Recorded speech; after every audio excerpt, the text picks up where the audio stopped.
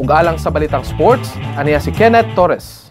Nalangkat sa Southwestern University Finma Cobras ang kadaugan sa Game 1 sa Sisafi Finals. Batok, three-time defending champions University of the Visayas Green Lancers sa score nga si Tenta sa 66 kagabi.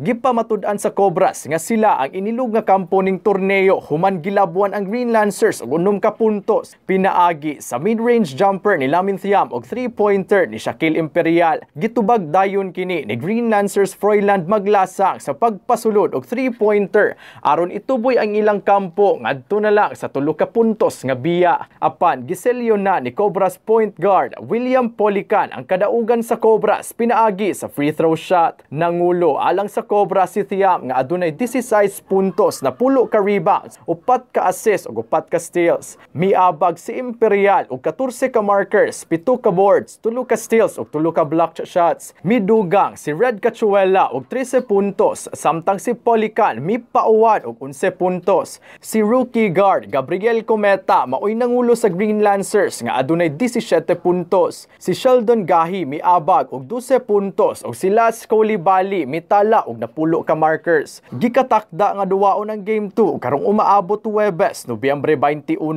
Kenneth Torres, Newsbits.